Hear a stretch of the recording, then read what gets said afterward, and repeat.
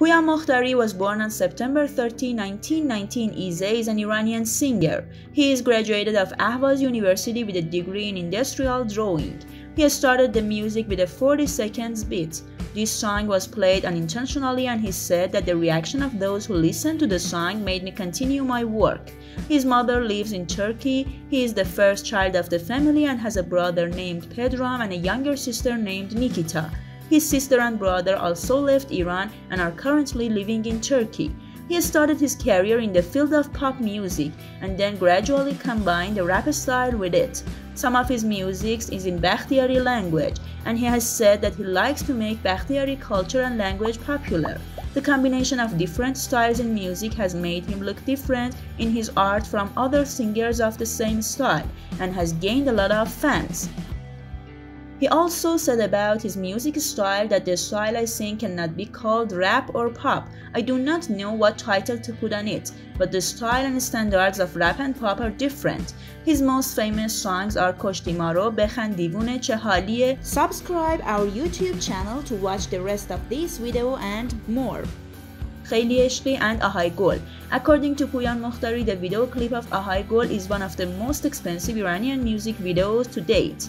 The theme of this video goes back to ancient times and the times of the kingdom, and it is historical, and Pooyan Mokhtari and Nili Afshar themselves have played roles in it. He immigrated to Turkey in the spring of 2011 and never returned to Iran. He wrote about this on his Instagram, I never wanted to leave Iran and I did my best but it didn't work anymore. Goodbye, Iran. It is interesting to know that Pooyan, while he was very famous in Iran and especially among the Bakhtiari people, after migrating to Turkey, like many others, started launching sports betting sites, which was very successful in this work.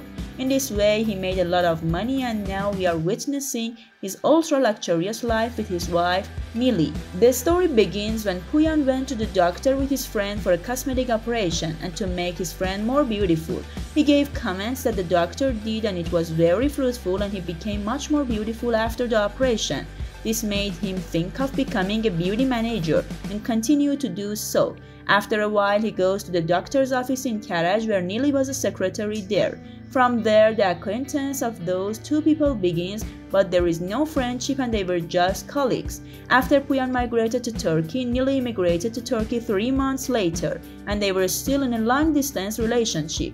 And little by little, their friendship was formed, and after a year, they made it official. After moving to Amsterdam, he married Nili Afshar in November 2018 and then posted a video of his marriage with her on his Instagram page. According to Pooyan, Nili has never been looking for financial things and one of the reasons for his success is Nili. She has also helped him a lot in life. After migrating from Iran to Turkey, he would occasionally play music outside, and after a while he started advertising for a betting site but this advertising was not continuous and after a month he deleted the betting site address from his bio on Instagram and announced they will soon build their new site. It was from there that they created the Hazarot site and after that they shared every fun and entertainment they had on Instagram and said that the only source of income for me is the Hazarot betting site and in this way he was able to achieve wealth and fame. He currently has more than 3 million followers on Instagram. Pooyan Mokhtari strangely increased his income 10 times after building the betting site.